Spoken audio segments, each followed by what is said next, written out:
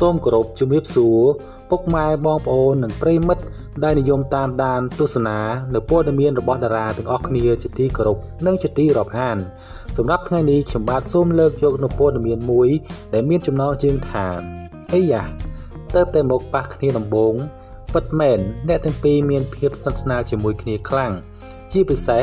តែងតែបង្ហាញរូបភាពស្វិតស្វិតជាមួយគ្នាដូចគូសង្សារ បាទសូមគោរពអញ្ជើញតាមដានទស្សនា និងស្ដាប់នៅព័ត៌មាននេះជាមួយខ្ញុំបាទដូចតទៅ លោកអេលិចចិន្ត្រា និងកញ្ញាដួងមនិចសុទ្ធតែជាសិល្បករសិល្បករនី ដែលបានឈានជើងចូលសិល្បៈមិនក្រោម10ឆ្នាំនោះទេ តែបើអ្នកទាំងពីរចូលសិល្បៈយូរយ៉ាងណាក្តីក៏នៅតែទទួលបានការគ្រប់គ្រងនិងប្រជាប្រិយភាពពីមហាជនខ្លាំងដដែលដោយអ្នកទាំងពីរសុទ្ធតែ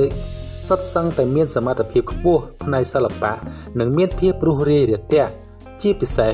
រូបសម្បត្តិក៏ស្រស់ស្អាត ស្រស់សង្ហាគួរឲ្យតាក់ទាញទៀតផង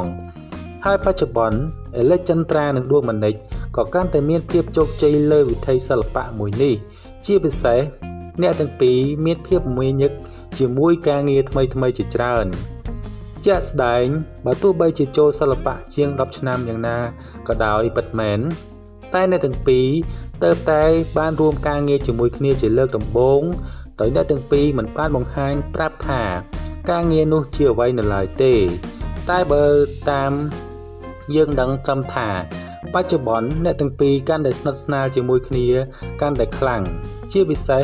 តែងតែបង្ហាញរូបភាពស្វីតស្វីតជាមួយគ្នាដោយរូបគូសង្សារយ៉ាងដូច្នោះដែរបាទអស់លោកនាងកញ្ញាទើបតែបានតាមដាននៅព័ត៌មាន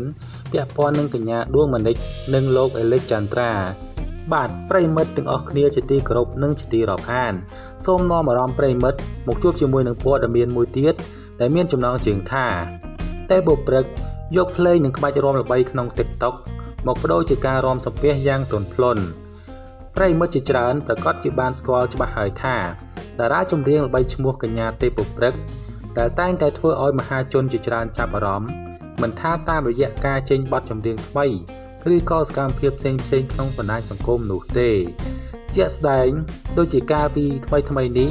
នាងបានធ្វើឲ្យមហាជននិង fan fan ជាច្រើនភ្ញាក់ផ្អើលនៅពេលគ្រប់គ្នាបានឃើញវីដេអូមួយ ដែលបង្ហាញពីសកម្មភាព នាងយកភ្លេងនិងក្បាច់រាំថ្មីល្បីៗក្នុងបណ្ដាញសង្គម TikTok